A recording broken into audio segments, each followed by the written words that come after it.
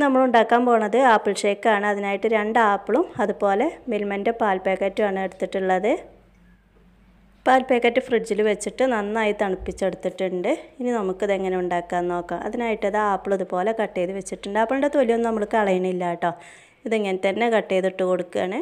ഒരു മണിക്കൂർ മഞ്ഞൾപ്പൊടി ഉപ്പൂട്ട തണുത്ത വെള്ളത്തിൽ ഈ രണ്ട് ആപ്പിളും ഞാൻ ഇട്ട് വെച്ചിട്ടുണ്ടായിരുന്നു അതിനുശേഷം നന്നായി കഴുകിയെടുത്തതിന് ശേഷമാണ് കേട്ടോ നമ്മൾ ഈ തൊലിയോട് കൂടെയുള്ള ജ്യൂസ് ഉണ്ടാക്കുന്നത് അപ്പോൾ എല്ലാവർക്കും അറിയാലോ ഫ്രൂട്ട്സിലും പച്ചക്കറിയിലൊക്കെ നന്നായിട്ട് വിഷാംശങ്ങൾ അടങ്ങിയിട്ടുണ്ട്. അപ്പോൾ ഇതുപോലെ ചെയ്താൽ മതി. കുറേയൊക്കെ രോഗങ്ങളെ നമുക്ക് തടുക്കാൻ കഴിയും.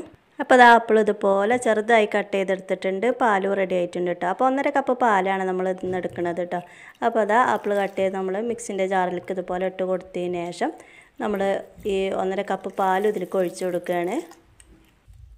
അതിന് ശേഷം പാത്രത്തിന് ആവശ്യമായിട്ടുള്ള രണ്ട് ടേബിൾ സ്പൂണോളം പഞ്ചസാര ഇട്ട് കൊടുത്തിട്ട് ഇത് നന്നായിട്ട് മിക്സിയിൽ ഒരു മിനിറ്റോളം അടിച്ചെടുക്കാൻ കേട്ടോ. അപ്പോൾ ഇതുപോലെയാണ് നമ്മൾ അടിച്ചെടുത്തിട്ടുള്ളത്.